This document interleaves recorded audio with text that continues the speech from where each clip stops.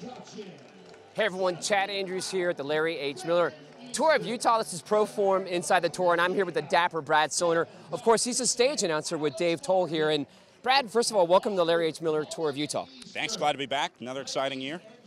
Speaking of exciting, what would you consider to be the most exciting aspect of the 2015 version? Ooh, good one.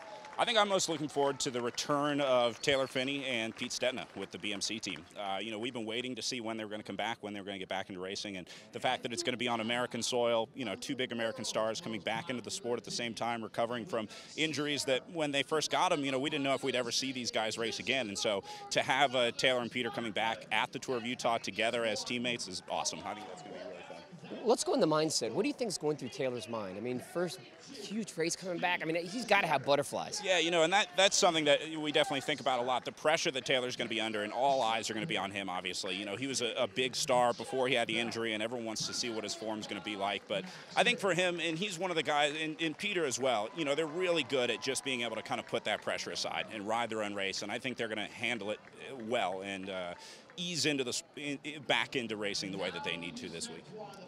Can I pressure you? Sure. You're gonna, you're gonna Got to pick. so what?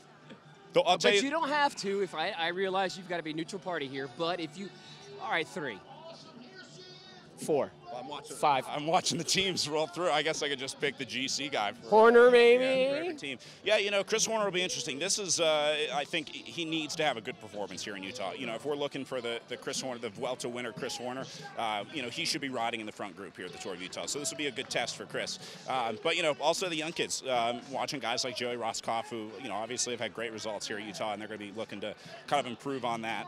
Um, but I think we're going to have awesome stage wins as well. Um, you know, guys like Michael Schär, who's won here at Tour Utah. Before, you know, I'm looking forward to a Michael Schär breakaway, and I, you know, I think we're going to see it. So, uh, you know, whether he, he stays away again this year uh, is a, a, question to be seen. But uh, yeah, it's going to be a great racing every day, and there's a good mix of courses here as well. So I think we'll get to see a good mix of riders getting a chance to win stages. Well, there you have. That's Brad Sohner, of course, the dapper Brad Sohner today. Of course, he'll be dressed up even more. You'll hear his voice on the live, uh, the live stage announcing with Dave Towle. This is Chad Andrews at the Larry H. Miller Tour Utah ProForm inside the tour. Hey, Brad, thank you. Thank you.